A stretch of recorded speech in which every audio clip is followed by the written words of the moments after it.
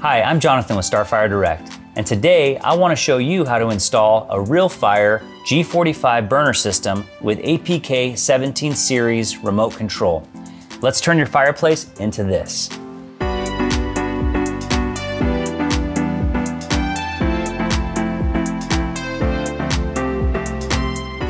Although our installation videos are intended to help our customers, it's always recommended that you hire a professional. These are gas appliances and must only be installed by professionals with fireplace specific knowledge and experience. Start off by opening your chimney flue and attaching the included damper clamp. Tighten the bolt with a wrench. The damper clamp ensures there is always ventilation for the gas log set. If your gas line has a cap on it, remove it and add a gas-approved pipe joint compound to the threads.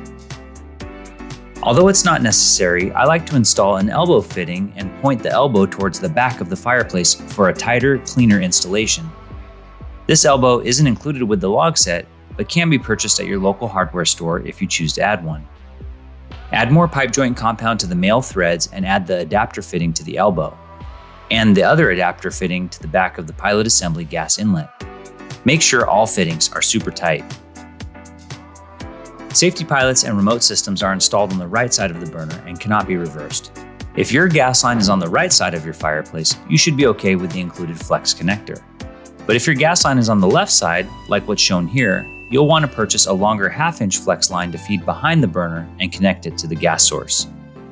Tighten the flex connector on the burner first, position the burner then feed the flex connector over to the gas inlet and connect it. This ensures the flex line doesn't get kinked or twisted. It's important to remember to never use pipe joint compound or thread sealer on flared compression fittings. Center the burner in the fireplace. Some kits include stabilizer clips that clamp around the grate and slide in over the burner to help secure it in place. Recenter the grate and burner. Next, install the small battery in the remote control and then the four AA batteries in the receiver. Make sure these are installed in the right direction. Clip the receiver cable into the back of the valve system until it clicks into place. Position the cable off to the side. Remember, this can melt if it's too close to the fire. Install the heat shrouds over the valve and regulator. The manufacturer recommends that the receiver stays outside of the fireplace, but for this video, we're showing it inside next to the valve. Make sure it's set to the remote setting. Now that everything is hooked up properly, it's time to test the burner system. Turn the knob on the pilot system to the pilot position and push in. This will allow a little bit of gas to come out of the pilot. Continue holding in the pilot knob and using a long stick lighter in your other hand, try lighting the pilot. It's important to remember that there's air in the gas line since this is a fresh installation. It can take up to a few minutes for all of that air to purge out of the pilot. Be patient with this step. Once your pilot lights and the thermocouple has heated up for about 10 to 15 seconds, you should be able to release the pilot knob and the pilot should stay lit. Once your pilot is lit, you should be able to turn on the burner system using your remote control. Press and hold the on button until the burner lights.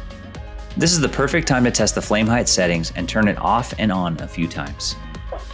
Once you know your burner system is working great, it's time to add the silica sand for natural gas or vermiculite for propane gas. This installation is natural gas, so we're using silica sand. Pour the sand onto the burner and cover the entire tray. You'll notice I turned off the pilot to complete the installation, and I'll just relight it after I'm finished. Make sure the silica sand is just on the burner area. You may have some left over.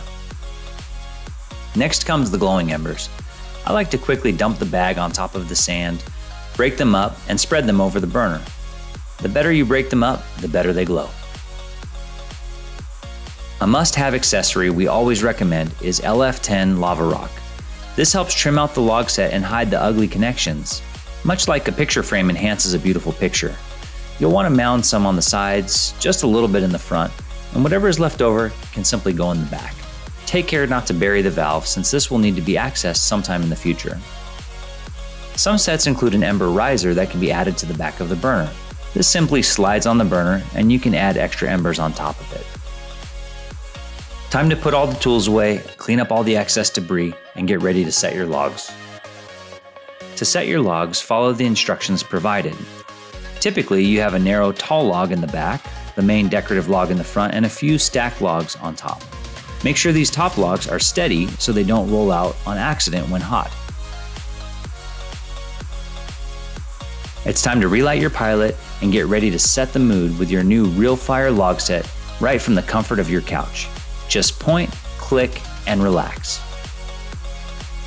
If you have any questions, leave them in the comments below or call our sales team and we'll be happy to guide you in the right direction. If this video was helpful, make sure to fire up the like button and subscribe to get updates on all new videos.